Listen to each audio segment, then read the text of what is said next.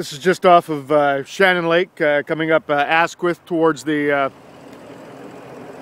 towards the dump in uh, west side here. We have a number of vehicles uh, struggling to just get down this hill.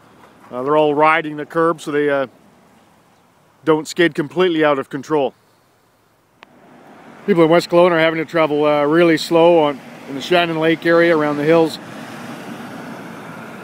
The roads become just sheets of ice.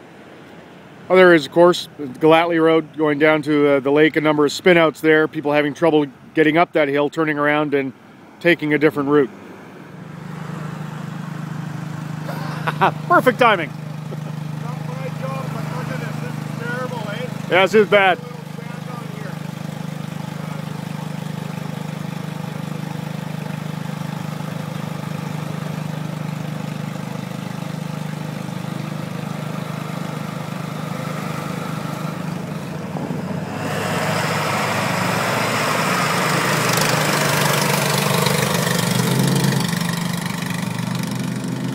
Not even this fella's job. He's just uh, a contractor who obviously recognizes the need.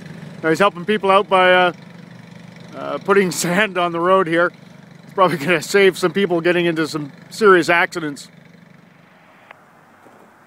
Right below the uh, packed snow, it's just sheer ice, and people are just struggling here to get down safely.